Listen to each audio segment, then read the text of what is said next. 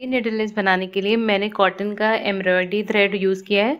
इसके six strands है, जिसे नॉटलेस टेक्निक में मैंने इसे निडल में डाल दिया है। ये डबल हो गया है।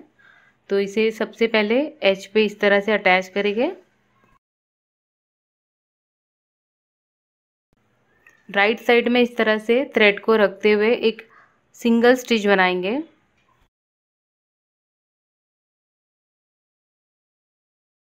ये जो सिंगल स्टिच हमने बनाया जो स्पेस बनी है, ये सेम स्पेस में अपने हुक को इस तरह से इंसर्ट करेंगे और इस तरह से बुलियन स्टिच बनाएँगे। सिर्फ़ टू टाइम इसे रैप किया है मैंने। स्मॉल बुलियन स्टिच बनाएँगे। इस तरह से।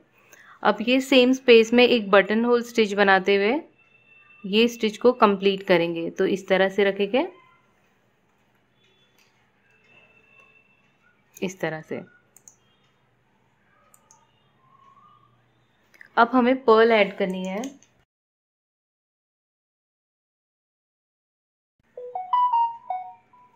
पर्ल ऐड करने के बाद इसे अटैच कर देंगे। इसकी साइज़ के अकॉर्डिंगली राइट साइड में इस तरह से थ्रेड रखें और निडल को इस तरह से इसमें इंसर्ट करते हुए इसे अटैच कर देंगे।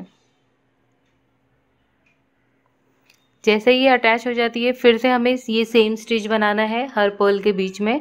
तो फिर से इस तरह राइट साइड में रखा मैंने थ्रेड और एक सिंगल स्टिच बना दिया।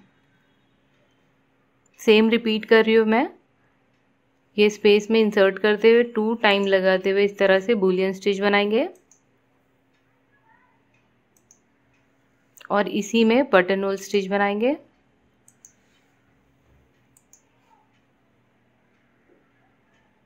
जैसे ही बटन होल स्टिच बनता है, एक पर्ल ऐड कर देंगे।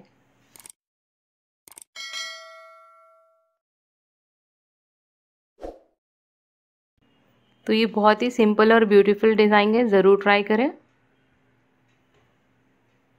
इस तरह से।